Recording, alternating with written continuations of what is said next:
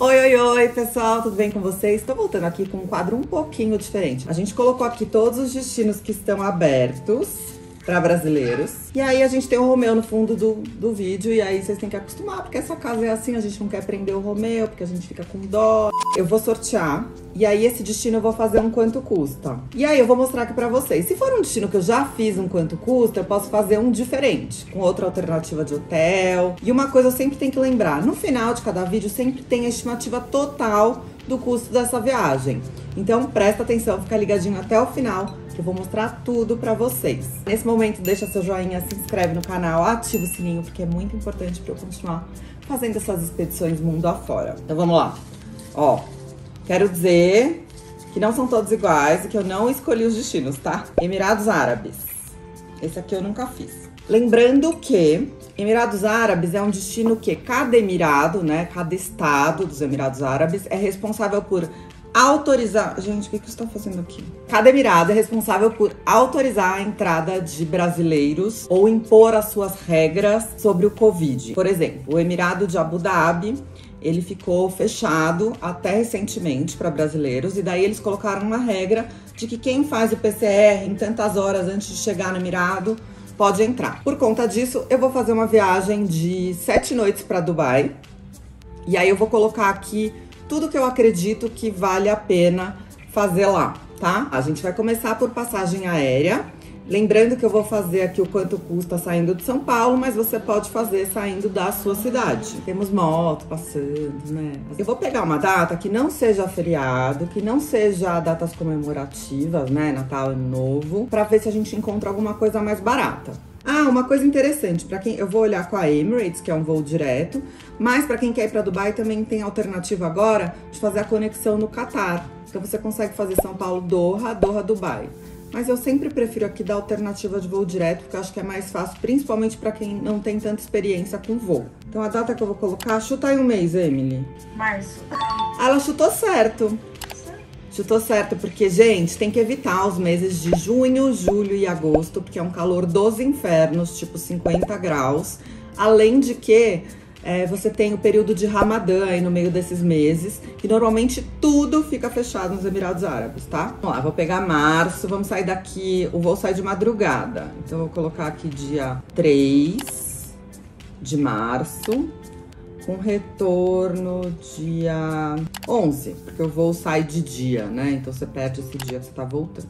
No dia 3, o voo chega lá no mesmo dia, sai daqui a 1h25 da manhã e chega lá às 22h35. No dia 11, o voo sai de lá 9 h 05 da manhã. Praticamente é um dia perdido, né? E chega no mesmo dia. Então a gente vai precisar da hospedagem de 3 do 3 a 11 do 3. A gente tá falando de oito noites, tá? Oito noites. Vamos ao preço. Aí vocês sempre perguntam, né? Mas aonde eu compro? Esse site é confiável? Eu sempre digo assim: dá uma olhada antes no Reclame Aqui, é, no Procon, para ver se o site é confiável. Por via das dúvidas, não sei se é confiável, compra direto com a companhia aérea ou com a sua agência de viagens, tá? Então aqui tem a opção de Emirates, que tá dando R$ 4.101 é, o total. Então aí fica a minha dica, tá? Aí vamos pesquisar hotéis. E aí, Dubai, do dia 3 do 3 ao dia 11 do 3. Vamos colocar duas pessoas, porque daí você não vai sozinho, né? Então, quarto para duas pessoas. Busque hotéis. Sabrina, como que você escolhe? Quando eu não conheço, eu sempre escolho procurando a rede de hotel que eu tenho de referência. Se você não tem essa rede, aqui no Skyscanner, por exemplo, que eu tô fazendo a busca aqui mesmo, você tem filtros. Moto. Bom, aqui tá aparecendo do melhor custo-benefício. Então, assim, você pega a primeira alternativa que chega aqui, 213 reais. Mas eu nunca ouvi falar nesse hotel e eu não sei qual é a localização. Então, eu vou lá, eu vou no filtro, Hoje em dia é importante ter cancelamento grátis por conta de Covid, essa instabilidade que a gente está vivendo. Eu não preciso de um hotel cinco estrelas, então nesse caso eu vou pegar um intermediário, um quatro estrelas. Aí aqui você tem alternativa, você quer apartamento você quer acomodação? Eu quero acomodação porque eu prefiro hotel. Café da manhã incluído eu acho super importante, porque daí é quase que uma economia é, no seu dia, né? Aí você coloca aqui, ó, eu quero piscina. O que me apareceu aqui foram 67 hotéis, né? Aí aquilo que eu falei, ó, os hotéis que apareceram aqui são de rede, né? Então o primeiro que apareceu foi o Windham, é, depois Hyatt, depois Trip. E aqui do lado no Skyscanner você tem é, um mapinha que você pode escolher. Então, o que, que eu acho legal? Por exemplo, ficar perto do Burj Al Arab, que é aquele hotel que tem o, a vela, assim, é, porque ali é bem localizado, você tem um calçadão, você uhum. consegue ir na praia, tem lojinha, tem restaurante. É, aqui do Dubai Marina também é uma, uma localização bem boa. Aqui você tem que andar um pouquinho mais. Então, dá para você olhar no mapa o quanto é caro e a localização, tá? Vou escolher esse aqui, Marina Biblos Hotel, que tá dando 559 a diária, tá? Então a estadia toda tá dando 4.465, ainda precisa das taxas, tá? E aí você tem o café da manhã incluído, ele é bem localizado. Nesse momento eu tenho que olhar para a câmera, mas eu tô vendo a Fran brincar com o Romeu, entendeu? Então quase não distrai, ela tá ali sentada no chão e Romeu lambendo ela, entendeu? Então foco, vamos voltar para cá. Ah, aqui inclusive você tem as avaliações, ó do TripAdvisor. Eu não sabia disso, olha que legal. Então, você vê o que, que as pessoas estão falando do hotel.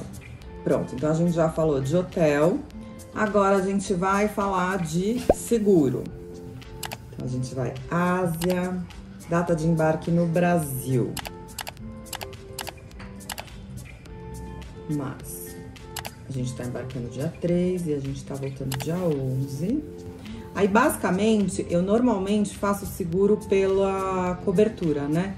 Então, nesse caso, esse aqui já me chamou a atenção, que esse seguro da Cores, com 250 mil dólares de despesa hospitalar inclusa.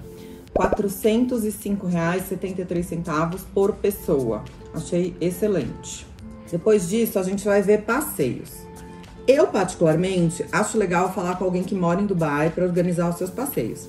Mas a gente não vai ter tempo de fazer isso aqui, então eu vou no site do Viator e eu vou pesquisar quais são os passeios que tem em Dubai para recomendar para vocês.